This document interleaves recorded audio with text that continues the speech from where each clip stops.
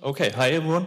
Uh, my name is Julius Härtl. I will give you an overview of how we do front-end testing at Nextcloud and yeah, some special things we introduced lately to improve the front-end testing. Yeah, for the server component, we have like basic acceptance tests where we test functional uh, aspects of the front end. Like we go through the login process and see if it all works fine.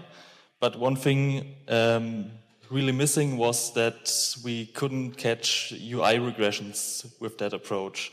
So we had like CSS changes that somehow influenced other pages, and we were often like fixing bugs twice or uh, yeah or three times.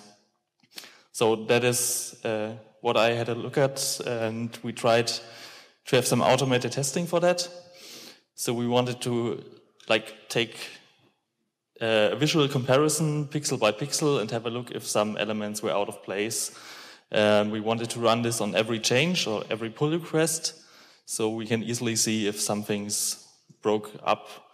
Um, yeah, we want to compare it to the previous state, like the master branch or the stable branches. And we wanted to use a real browser, so we have like the, yeah, the CSS rendering as, uh, as usual as possible.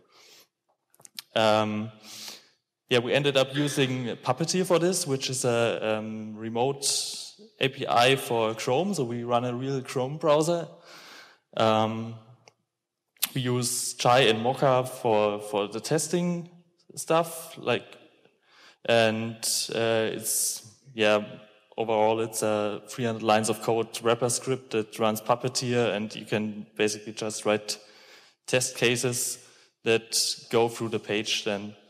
And the results, like all the screenshots and the diff comparisons of the screenshots end up in a static uh, page that is uploaded then, so you can easily browse it. Um, yeah, we test uh, pretty much like all over the Nextcloud user interface. We have the installation process, which is tested and uh, compared. We have the files app, like the sidebar, different sections are compared. We go for the public pages and have a look at like public share pages, uh, files and found pages and um, also the settings. And right now we are at like a bit more, about 150 test points, screenshots that are compared. Um, yeah, this is what you get at, uh, as a result, the static page. You can see on the left, this is the master branch, and on the right, there's the change that is produced by the um, by a pull request. And you can, in between, you can see the um, difference where the pull request changes the layout. Yeah, and just a quick example, this is um, how you write a simple test case for the login. You basically can just interact with any element on the page and just if all this has gone through, you type in the username and password, click the login button, and after that it will just take screenshots and compare them. Yeah, one thing missing is that we um, still need to notify uh, developers if there's something breaking because we can't let CI fail as uh, some UI changes might be wanted. So uh, we'll look into how we can just notify them with a GitHub comment that is automatically updated then.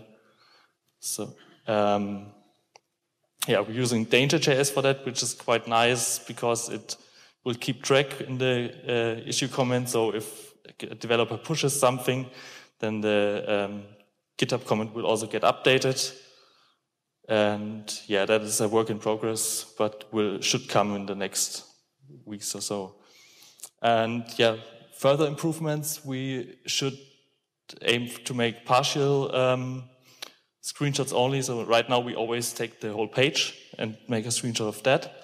But we also should like focus on only making screenshots of the sidebar, and we need to yeah cover more pages in Nextcloud, like the App Store page, like should test the shipped apps, like the notifications app and stuff like that. And yeah, we also want to look into automating accessibility testing which also works quite nice with uh, Puppeteer, and we can track JavaScript errors for that. Yeah, thanks. That was